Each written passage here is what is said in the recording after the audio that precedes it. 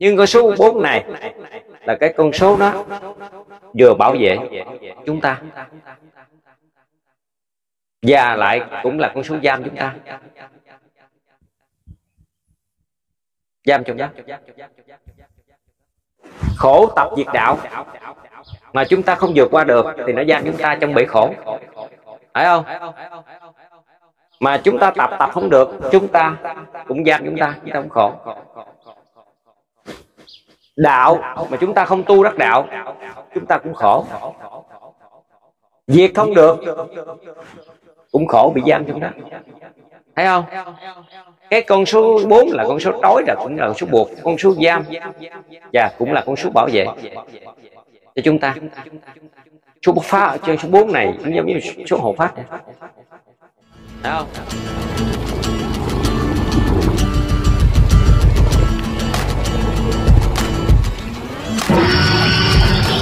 Vậy thì con số 4 số 4 là giai đoạn của con người này sinh lão bệnh tử. Ừ. Giai đoạn của vũ trụ này thành trụ hoại diệt. Ừ. Đó.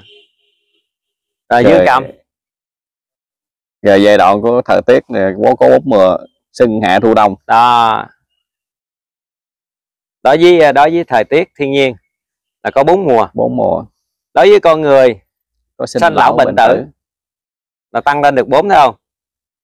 Đó đối với trời đất.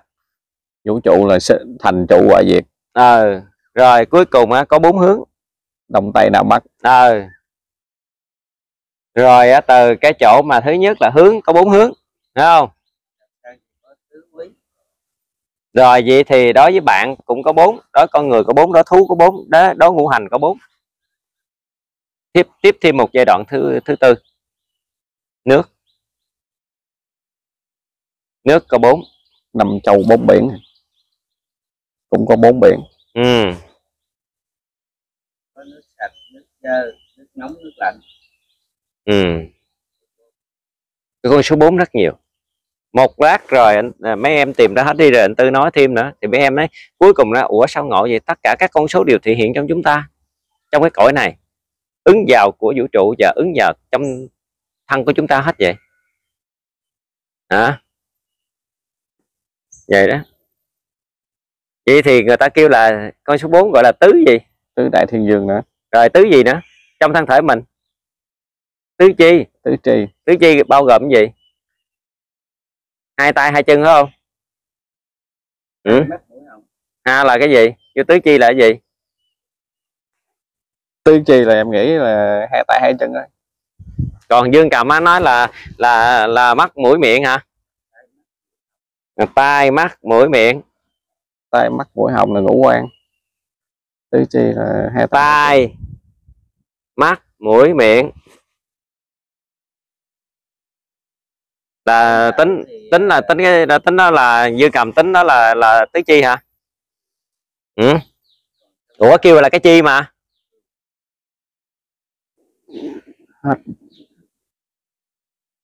tay giò đầu thân lớp đây lớp vậy đó giò đầu thân là bốn. Cho nên cái con số 4 đó mọi người thấy nãy giờ mọi người thấy là thấy nó nhiều không? Nhiều. Về thời tiết phải có bốn mùa. Không? thấy không? Phải có xuân hạ thu đông không? Hướng là phải có bốn hướng không? Thấy không? Đúng rồi phải nó ba. Cái con số bố- con số 4 nó phải bao trùm không? Thấy chưa? Đó. Rồi nhà thì mọi người cắt cột á, thì phải như thế nào? Nó thấy không?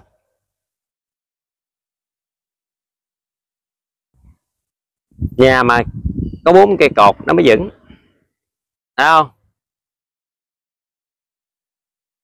cho nên từ cái chỗ đó tất cả, mọi người thấy cái con số 4 là con số bao số bao trùm.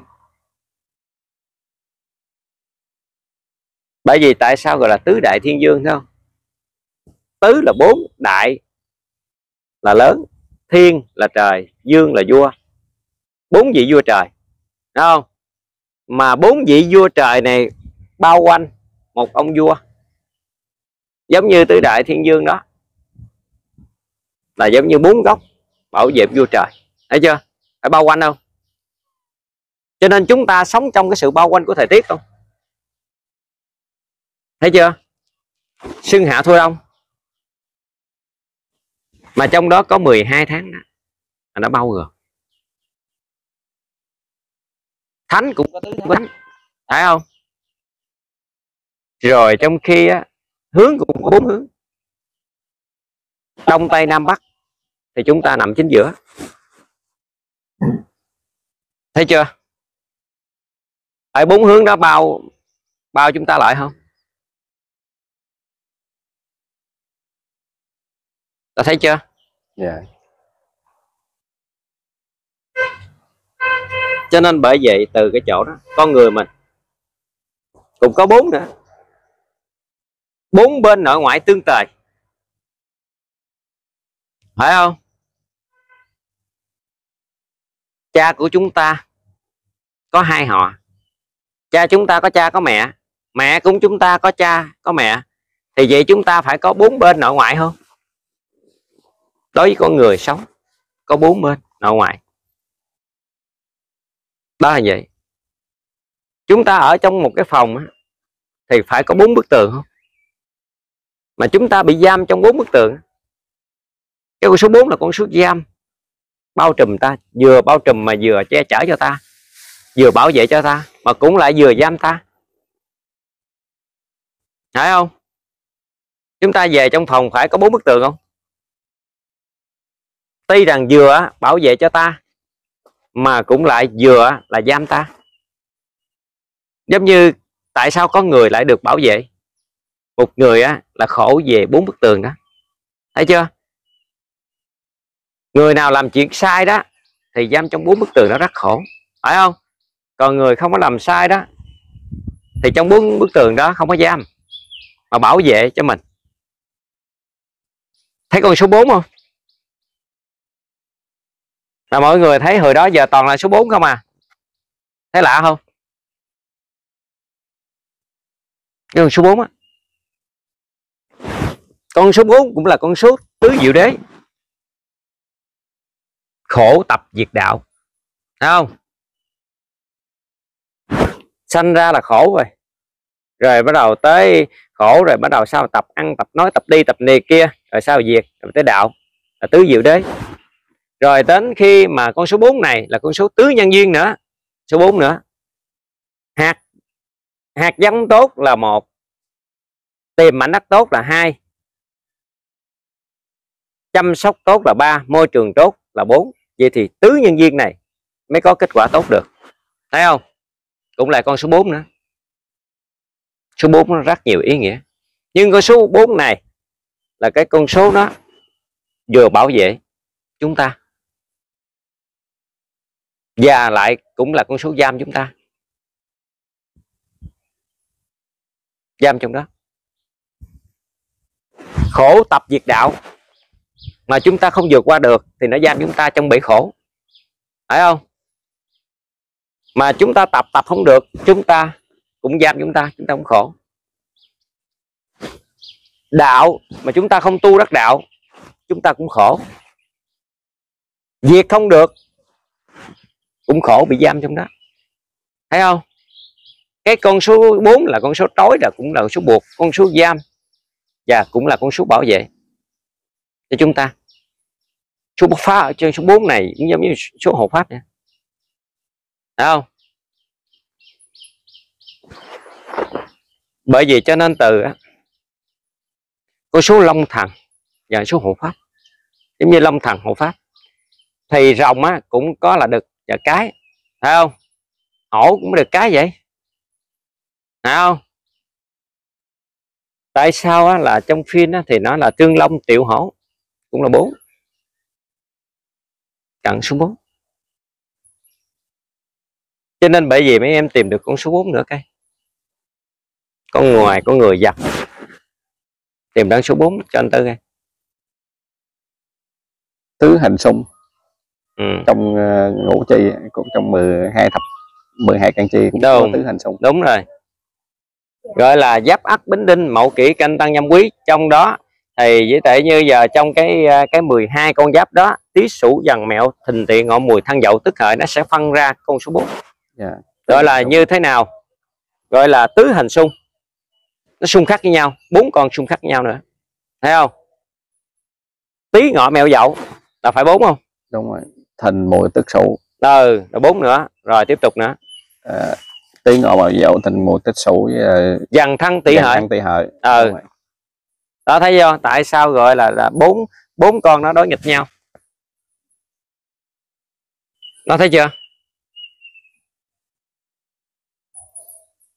Nó vô thắt kèn xung xung đột với nhau hết nè. Đó cũng là bốn rồi bắt đầu có bốn thuận thì phải có bốn nghịch. bốn nghịch. Mà bốn nghịch thì thì nó sẽ sẽ đối đầu nhau. Vậy đó rồi tìm ra- tiếp tục nữa ấy tứ hình xung đó bốn nghịch tứ hành xung là hết rồi. Rồi. 12 độ. Thì ờ, đó là gọi là bây giờ bốn cái con á là bốn cái con đó là nó nghịch gọi là nó xung khắc. Dạ. Còn thuận thận thì em chỉ biết tam hợp lục hợp thôi. Ví dụ thăng tý thìn thì nếu mà bây giờ trong khi á cái cái cái nghịch á thì là nó nó nó bốn thì dĩ nhiên cái thận nó cũng phải có bốn chứ. Ở thấy không? Lại có hết. Về tìm đây nhé lại có hết. Cái cái hộp á, thì nó cũng phải có tan. Cái thận nó thì nó có nghịch. Thì đảo ngược lại.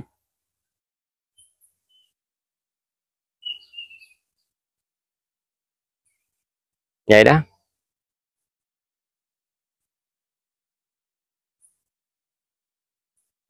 Để đi khán giả tự tìm Ừ. thêm ừ. Giờ mình tới số 5 đi. Ừ. Năm thì có ngũ hành. Con số 5 mới ban đầu mọi người thấy con số nào á cũng mới đầu không có ý nghĩa đúng không? Là tới số 5 đi. Rồi tiếp tục. Hành. Ờ con số 5 là con số Dương Cầm nói ngũ hành thì anh giải thích là ngũ hành là kim mộc thủy hỏa thổ. Rồi số 5 kim mộc thủy hỏa thổ. Rồi tiếp tục đi. Đối với con người mình ngũ quan ừ ngũ quan tai mắt mũi họng. Rồi. Miệng á. Ừ rồi tới gì nữa? Rồi à, ngũ chi hợp nhất. Ờ. Là tay chân mình hợp nhất là thành con người ta không? ngũ giới. Ngũ giới nè. Ừ đây ngũ giới nè. Đối ngoài này gọi là ngũ giới đúng không? Dạ. Còn đối với á, là cái thân thể của chúng ta có rất nhiều ngũ bàn tay của chúng ta cũng có ngủ, thân thể của chúng ta có ngủ, mọi cái thân thể của chúng ta ngủ đều có ngủ, thân thể của chúng ta có ngũ hành da của chúng ta là thổ máu của chúng ta là thủy xương của chúng ta là kim tóc tai lông lá của chúng ta là mộc hơi ấm của chúng ta là quả thấy chưa cũng là ngủ, thấy không trên cái bộ phận của chúng ta gọi là ngũ nhạc thấy chưa? Đó là vậy. Cho nên cuối cùng chúng ta có nhiều nhiều cái ngủ. ở ngoài thì gọi là ngủ giới. Rồi còn quá đi cầu á, thì cũng có ngũ hành. Còn trên thiên á, thì cũng có ngủ. Ngủ đế. Thấy chưa? Trên thiên thì ngủ đế ở dưới trần á, thì ngũ hành thấy không? Còn ở ngoài đó ngũ châu thấy không? Đó là ngũ châu. Rồi mấy em tìm cái đơn giản coi ngủ nữa coi.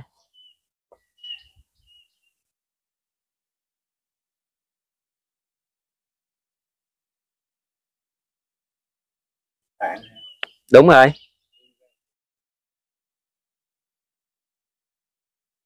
Ở ngoài thì á là gọi là có ngũ nhạc ở trong á thì có ngũ tạng thấy chưa?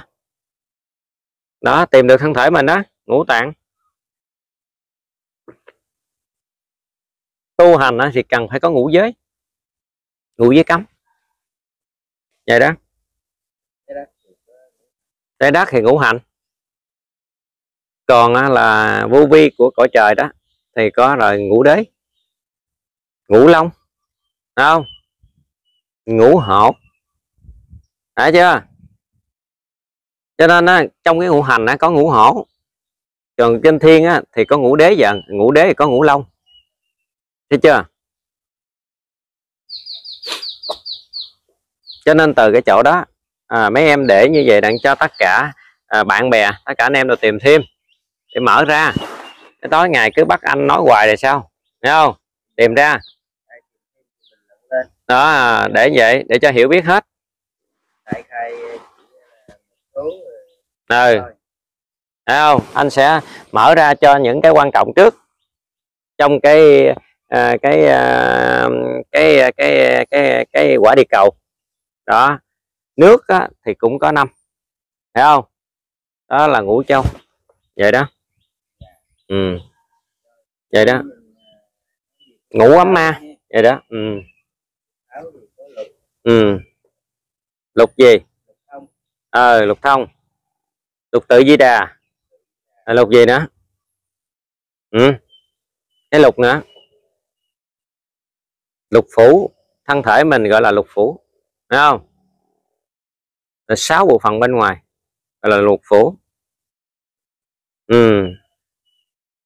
Còn á, đối với là trong cái quả địa cầu trong cung đình á, gọi là lục diện đâu không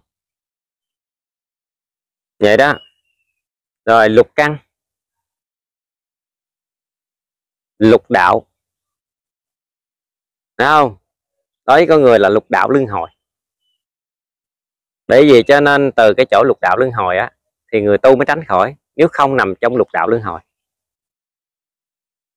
Đó là vậy người tu á, thì phải lục căn thanh tịnh. Đúng không nếu không lục căn thanh tịnh rơi vào lục đạo luân hồi. Cho nên người tu á, thì cũng cần lục, niệm á, lục tự di đà. Chưa? Đó là như vậy. Còn thân thể của chúng ta có nhiều lục đó cần phải có cái chữ lục. Vậy đó. Rồi tìm ra cái chữ lục coi. À, mấy em tìm được bao nhiêu rồi sau này để à, để cho bắt đầu mấy mốt anh em của chúng ta sẽ bình luận ở dưới để tìm ra cho anh Dương cầm. Chia phú cho tất cả anh em khác. Tôi chỉ nói mô phỏng ví dụ cho để như vậy để tìm cho nó dễ. Thấy không? Đó vậy. Đối người tu cần những chữ lục. Đối người đời. Ừ. Ừ. ừ. Ờ con số 7 vậy đó. Số 7 á, thì thất bủ kỳ sơn. Không? Thất bảo. Màu sắc thì có bảy màu. Ừ. Đó là vậy. Giống như khi á, là cái gọi là cái cái cái chỗ của cõi Đức Phật A Di Đà gọi là thất bảo lưu ly mã não xà cừ san hô thổ phách đúng không? Đó cho nên nó là khi á, tất cả mọi người thấy á, cộng á, với tỷ như cộng thêm hai thứ đó nữa. Giống như à, bây giờ nãy là năm lưu ly phải không? Mã não xà cừ san hô thổ phách. Năm rồi. Là là hả? Năm mới năm. Là mới năm. Dạ. Còn còn thêm hai thứ nữa đó. Không phải. Cái cõi đó không tính vàng bạc. Cái cõi của đức phật. Cho nên bởi vì từ cái chỗ đó bây giờ hiện nay đó giống như gọi là thất bảo đó, đó. mà bây giờ thì anh thấy giống như bây giờ cái lưu ly giống như lưu ly nó cũng đã có tại vì anh, cái nào anh thấy được thì anh thấy. Nhưng mà trong cái cõi của đức phật a di đà thì có thất bảo, thấy không? Giống như bây giờ san hô, anh đã thấy thì anh biết hiểu không? Rồi tới mã não, anh đã tìm được hổ phách, thấy không? Xà cừ, anh đã thấy được năm thứ. Nhưng còn hai thứ nữa. Thì ai thấy được thì mốt người đó sẽ biết được hai thứ đó. Thì anh nói là tới cái đó có bảy nhưng anh tư đã thấy được hai thì anh tư nói hai là thấy được năm tư nói năm. Thấy không? Cho nên khi ai á đã tìm được thêm hai nữa đi thì cộng lại mới tin là cái đức phật a di đà gọi là có thất bảo. Thấy không? Có nghe đồn là phải đức phật a di đà có gọi là thất bảo không? Bảy báo. Nhưng mà cái san hô đó anh đã tìm được san hô và hổ phách đã tìm được đã thấy được không còn hai thứ kia đó gì anh tôi chưa tìm được. Khi nào tìm được đi, rồi thêm hai đó. Nhưng mà anh hai anh tư nói là đó là gọi là cái thức bảo, thất bảo đó. Vậy đó. Giống như còn ở đời thì có gọi là thất sơn. Thất bủ kỳ sơn đó nào. Không Sơn ừ. Là bảy ngọn núi. Vậy đó thất tình lục dục đó chứ. Rồi thôi bây giờ khách đông quá thì tạm thời á là ngưng lại đi Dạ. nha dạ. Rồi rồi có gì nói tiếp vậy đó. Dạ. Vậy đó